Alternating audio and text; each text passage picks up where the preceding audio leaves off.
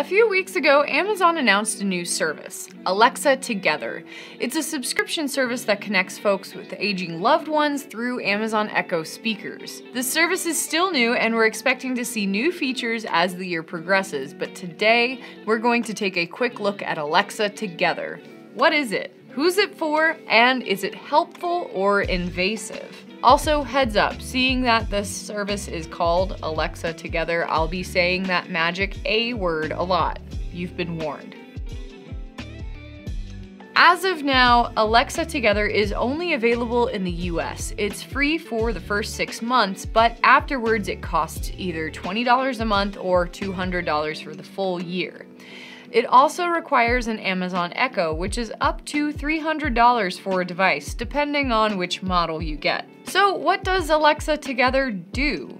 Simply put, it connects one user to another's Amazon Echo, but it's designed specifically for seniors and their loved ones. So if you have an older parent, neighbor, friend, or loved one who lives alone, you can get updates on their basic activity through your Alexa app. A few key features from Together include urgent response, activity reports, remote assistance, and fall detection.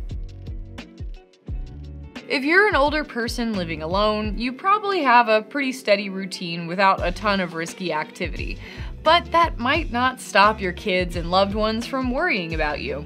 That is where Alexa Together could be a good middle ground to meet. Some of the benefits for you include urgent response through Alexa.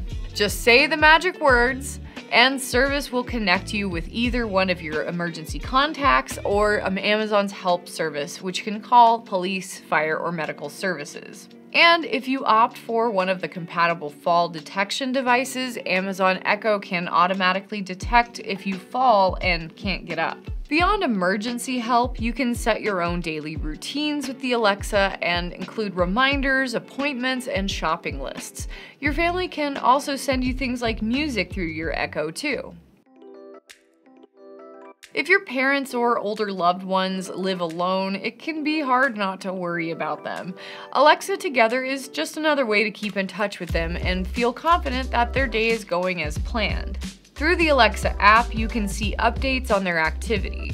You won't get specifics like what questions they asked or devices they turned on, but you will see that they're moving throughout their day. Like we mentioned before, if they fall and need help and can't reach their phone, they can call you or emergency services through the Echo hands-free. Along with an activity feed and urgent response, you can send reminders to your loved ones for things like appointments, medications, or even just messages to tell them that you're thinking about them. Later in 2022, we're expecting a new feature that lets you add more caregivers.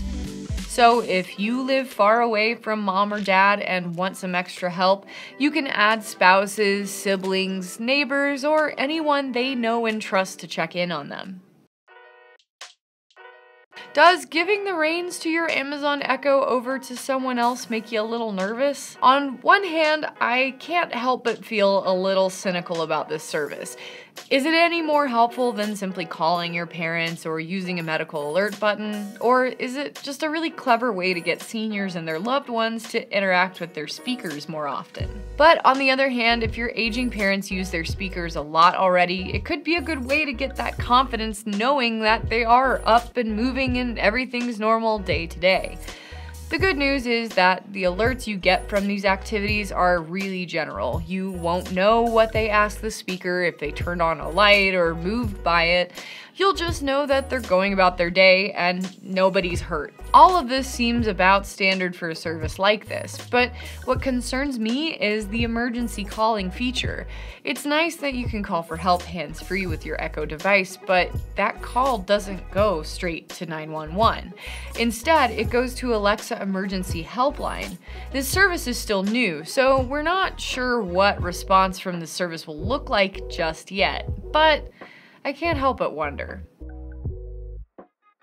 So, what do you think? If you're an older person living alone, drop a comment below.